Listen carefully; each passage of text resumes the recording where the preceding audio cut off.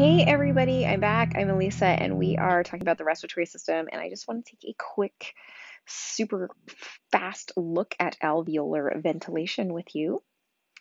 So, um, the alveoli, right? So, these are the little grape looking structures within the lung that are increasing the surface area so that we can have that gas exchange. It's also where the capillaries are going to be wound around them so that we can actually have that point of gas exchange from the circulatory system. Um, so, uh, not only air that enters the al alveoli is available for gas exchange. Yeah, so like you're not getting a gas exchange in the nose and, and the trachea and all of that. So, you know, there's that. So, um, basically, what we have is about 150, like the average-ish individuals um, respiratory system. It's in the conducting zone, right? We talked about like the trachea and the bronchi and all that good stuff. Um, and and it's not useful for the purpose of gas exchange, right? It's just the pathway. It's just this, you know, highway to the alveoli or the site of gas exchange. So there's that. Um, so uh, it can somewhat be altered by sympathetic dilation, right? So a little bit of expansion there if the sympathetic nervous system does engage. Um, but it just only is there to allow more airflow into the lungs, into the alveolar sacs, but not like all of a sudden start being able to exchange gas with the circulatory system itself. Um, so there's that. Um, in pulmonary disease, some of the alveoli are unable to exchange gases. And so things that can cause that. Um, number one, like loss of surfactant or um, surfactant that is not being made properly or is blocked by excess mucus or fluids or all of that. Um, this is where vaping kind of comes into play. Uh, there's some data now to suggest that uh, like the different types of chemicals in the vaping, I guess, liquid um, can actually change or eliminate that um, surfactant on the alveoli, causing them to collapse, resulting in lung collapse, right? Um, so yeah, there's there's some interesting things to look up there. Um, other things could be, you know, from traditional tobacco type smoking, so ash, tar, any kind of inhalants, physically, just physically clogging up and blocking those spaces as well.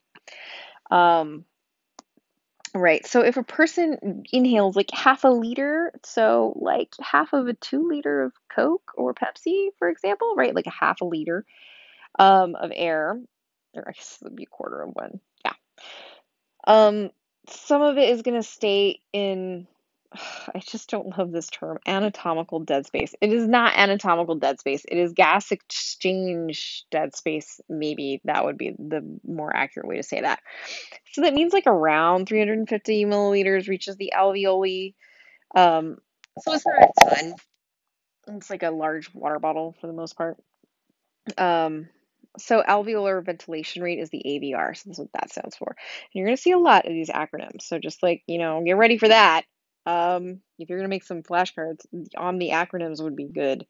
Uh, air that ventilates the alveoli is going to be, um, so that's that quantity of 350 milliliters theoretically of, of gas to be exchanged um, times the respiratory rate, which is like uh, 12 breaths per minute, like 10 to 12, kind of depending on where you're at.